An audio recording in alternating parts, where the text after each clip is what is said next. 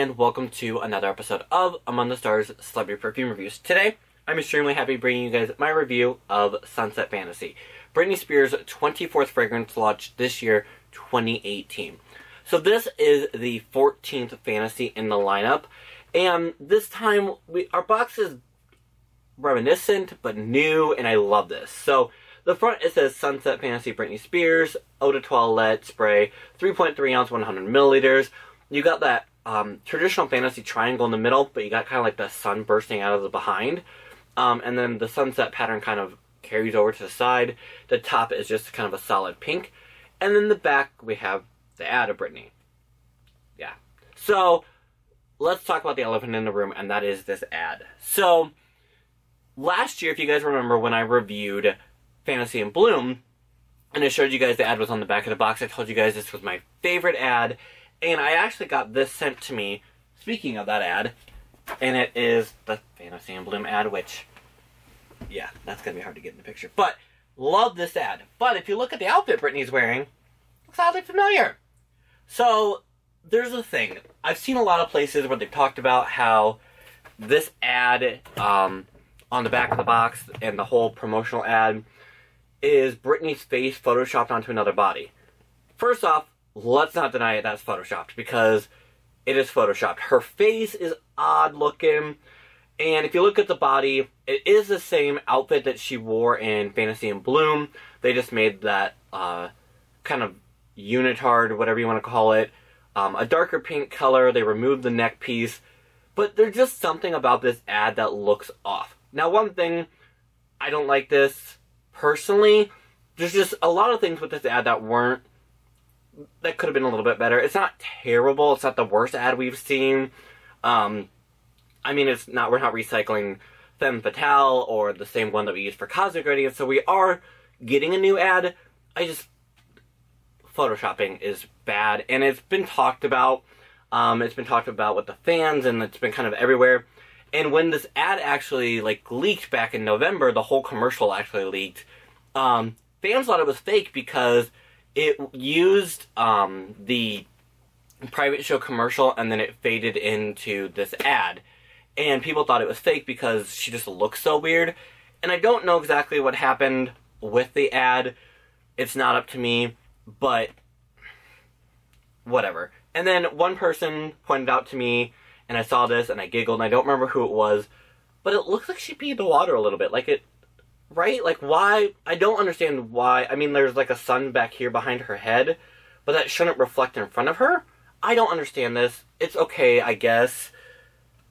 Anyway, but as you saw from the back of the box, the bottle this time went back to the original fantasy bottle design versus in bloom, which was that frosted no gem with a design on the front that Maui had.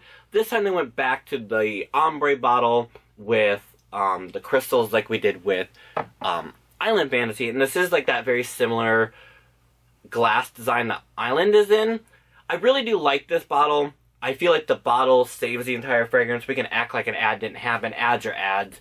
But when it comes down to it, we're here for the fragrance. And I love this bottle. I love the gradient. And it's not picking up the best on camera. I don't know if putting it in front of something is going to help. But it is a really pretty ombre color. Now, my promo picture I shot for this, I was gonna go do uh, like a shoot this at sunset, but trying to get a sunset in Iowa in the middle of winter that looks like it's on a beach, one is super hard, and two, Iowa is super hilly, so like I literally had like five minutes to find the sunset and take a picture of it. Did not find it, but I kind of did like a light painting with this, and that was kind of fun. I liked it. Still works. But like I said, we're here for the fragrance. So this one is a little bit different from all the other fantasies, but still kind of in the same wheelhouse. So it opens with ruby grapefruit, Italian mandarin, and pink apple. The middle notes are juicy peach, orange blossom, and raspberry leaves, with base notes of Australian sandalwood, vanilla, steamed froth milk accord, and gilded amber.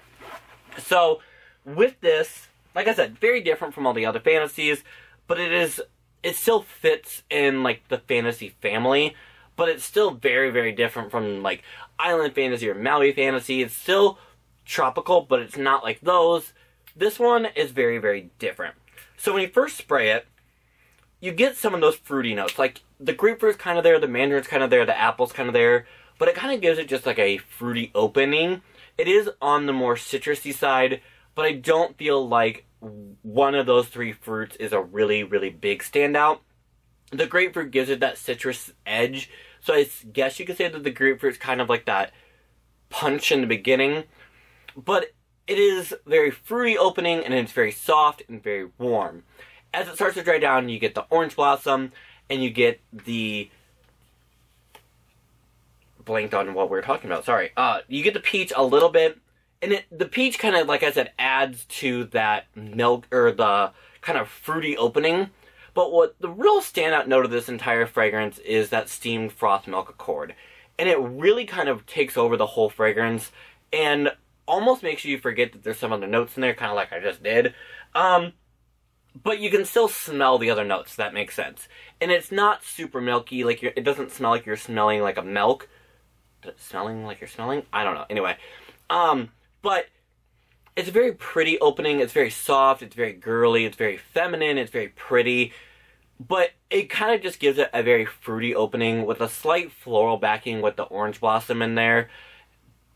When it starts to dry down more, though, you really do get that steamed froth milk accord, and you can you'll when you smell this fragrance, you'll really really smell it's kind of a frothy, milky, creamy opening, but you can tell that it's warm, and the amber there also makes it a really warm opening to this fragrance, and the whole fragrance is very warm and tropical, and it's kind of nice because you don't really see a whole lot of summer fragrances that are done on the warm side, and I like that because sometimes you don't want a crisp, refreshing summer scent. You do want something that's a little bit more sweeter, a little bit more warm, a little bit more cozy, and that's exactly what this is.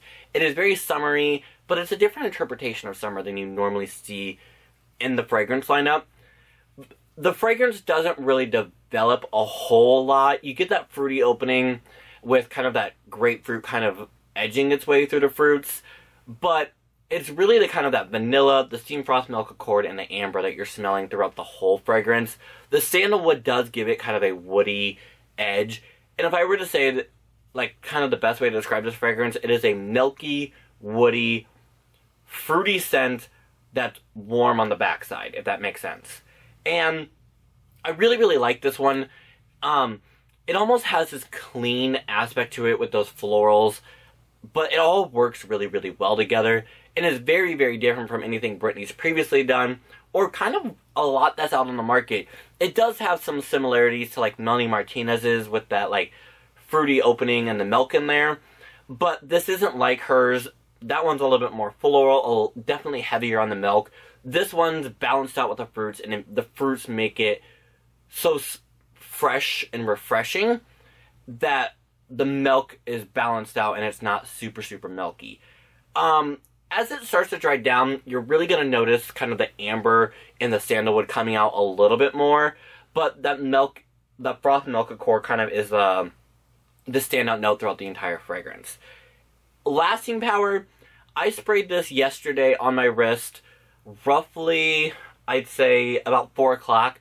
And about midnight, six hours later, I, well, no, sorry, 12 hours later, I can't do math. Anyway, regardless, about midnight, I could still smell it on my skin, but it was kind of that warm, ambery, uh, sandalwoody dry down with the milk kind of still there, and still some of those fruits.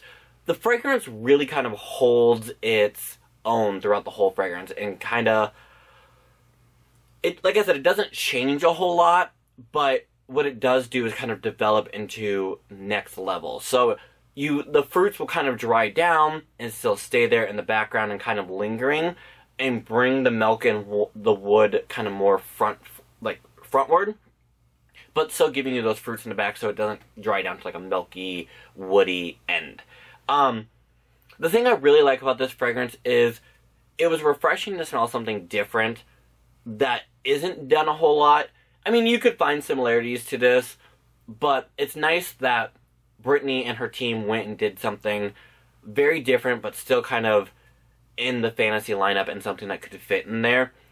This one is definitely more of like a. I feel like this is more of a hot summer day fragrance because it is an eau de toilette, so it does keep its lightness and keeping it summery. But it does last a really long time for it being a summery fragrance. With that being said, I definitely feel like this is a fragrance that you could wear from like the end of winter where it's still kind of cold and wear it as it's starting to warm up and kind of see how it adjusts.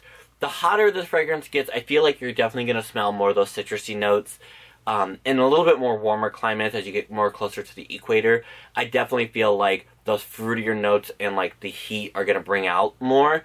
Um, but the definite that froth milk accord is kind of like that standout note. Um, so if you if you're kind of on the edge about it, I would go get it because, in my opinion, it's still safe, and that's what I've always loved about the Britney fragrances is they always are unique and they always kind of push the envelope, but they always stay safe enough that the fans aren't going to be like, oh, what is that? I don't want to smell that. That's terrible. Ugh. Like this one is pretty and a little bit more grown up. It's not as sweet and sticky and candy like as some of her previous ones. This one's definitely a little bit more grown up, a little bit more pretty, a little bit more womanly than girly, if that makes sense.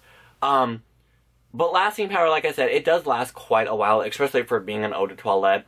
And I can't wait to see how this fragrance develops as it gets warmer and see what we can do with humidity and you know those type of things that really do affect fragrances. Now this one, that being said, I do feel like with kind of that froth milk accord, the amber and the vanilla and the sandalwood, I definitely feel like the way that the base in this fragrance is corrected and how it kind of um is very prominent throughout the entire fragrance. This one, along with Believe, would definitely be kind of a more male fragrance, but the, you know, like more male for Britney's fans. It's still a very feminine, very girly fragrance, but I definitely feel like it could be unisex or pulled off by them, just because it is a little bit different. It's not as candy sweet. It's not as like bubblegum pop as some for other fragrances are. So there you guys go. There is my review of Britney Spears' Sunset Fantasy. Sorry about all the rambling. There was a cut. this fragrance is very, very different and very unique in the way that it's create, created. So I definitely feel like the rambling was needed. So there you guys go. Thank you guys so, so much for watching. Follow me on Twitter, A Perfume, and Instagram, Among the Stars Perfume. Links are in the description below. Also, go ahead and if you want to, and website, there's some cool, uh, kind of different edges of my personality with my fragrances there. Um, be on the lookout. Like I said, I do plan on doing my perfume collection video here relatively soon. I'm not quite sure exactly when it'll be up, but it'll be coming soon. Um, the Fragrance Knockout series will be starting in February. Lots of fun stuff coming. I just haven't decided the collection video exactly when it's going to come out. I kind of want to do something special for you guys, but we'll see what I come up with. So, there you guys go. Thank you so much for watching. Bye.